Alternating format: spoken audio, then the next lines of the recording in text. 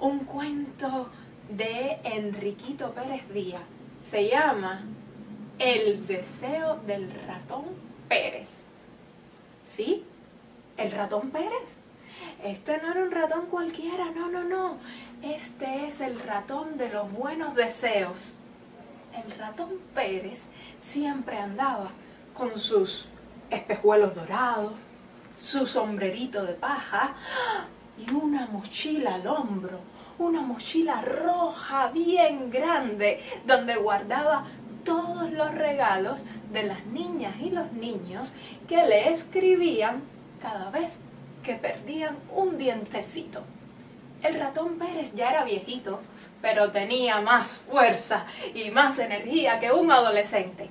Todas las noches se sentaba feliz a leer todas las cartas de los miles de niños y niñas que le escribían pidiéndole los más diversos deseos.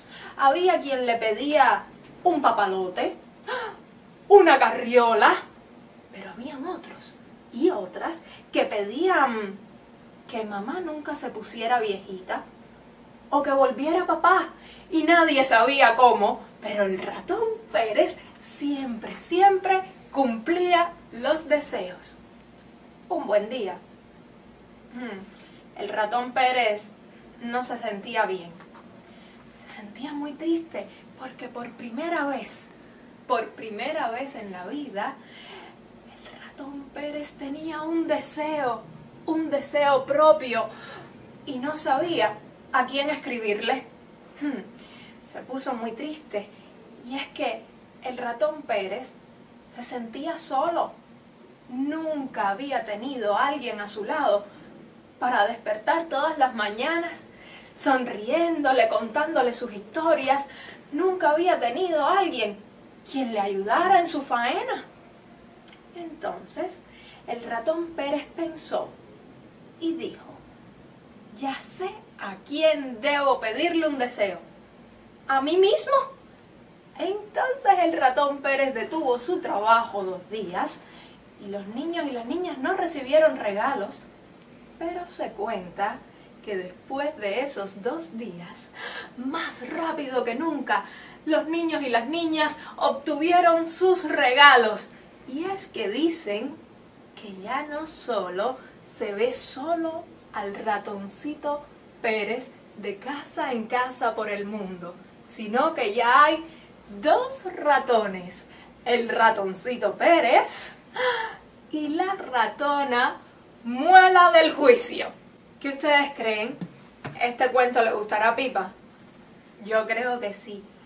Y vamos a preguntarle, Pipa, ¿Alguna vez se te ha caído un dientecito y no has recibido tu regalo?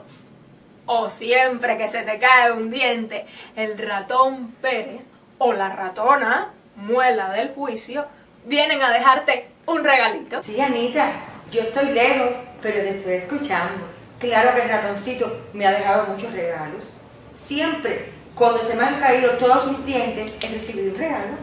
¡Qué bueno, Pipa! Pues ya sabes, en cuanto nos veamos, te voy a dejar este libro para que lo puedas leer en tus tiempos libres. Ay, sí, Anita, claro que sí. ¿Me lo vas a prestar? Fíjate que me lo dijiste, me encanta leer. Claro que sí.